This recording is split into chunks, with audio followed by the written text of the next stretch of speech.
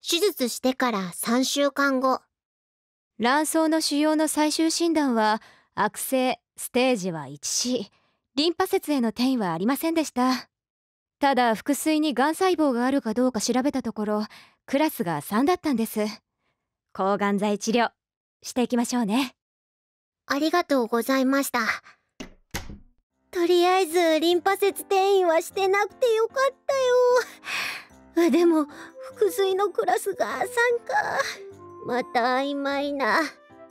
お前らしいじゃないか。えなんで？どうして？うじうじしてたら悪くなる。明るく前向きにしてたら大丈夫ってことじゃね？あま魔女手術の日からずっといた母が一旦実家に帰ることに抗がん剤が始まる日にまた来るから。その頃まだ台湾にいた父。お父さん日本に帰ろうか？なぜなら私が帰国しなくていいと言ったから。いいよ大丈夫。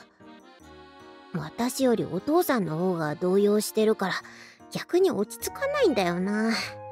そうは言ったって心配じゃないか。ルリを一人にするなんて。術後の体が辛いだろう？大丈夫か？お父さんルリのこと考えると眠れないし辛い。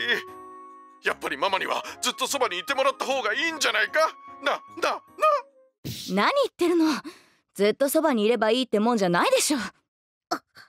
ルリはもう大人なんだから。じゃあ1週間後にね。私は大人。ありがとうママ。ショワさんと長電話手術して1ヶ月か。足のむくみ痛い。あれこれやってるとあっという間だよね。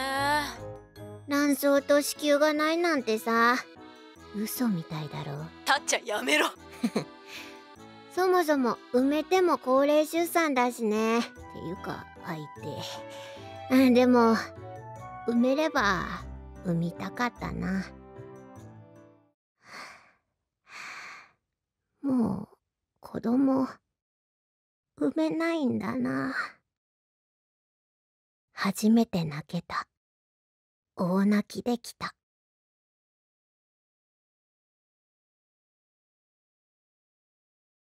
1回目の抗がん剤のため入院。病院行きのバス待ち中。いよいよ抗がん剤か。これから半年間。長いよね。あんまり副作用出ないといいな。いよいよだね。今日は病院に行くことだけ頑張ってください。それ以外は頑張らなくていいからね。愛ちゃんからの励ましのメール。気楽に行こう。入院もだんだん慣れてきたね。藤川さん。あ先生。明日からですね。体調どうですか？元気です。よかったそういえば藤川さんどんな漫画が好きなんですか？え？おすすめの漫画ってあります？あ最近読んで面白かったのは先生と固い話ばっかりしてきたからかな。治療以外の話ちょっとほっとする。話ついでについ抗がん剤治療して元気になってる人はたくさんいますか？あいるって言うしかない質問だよ。はい。ちゃんといますよ。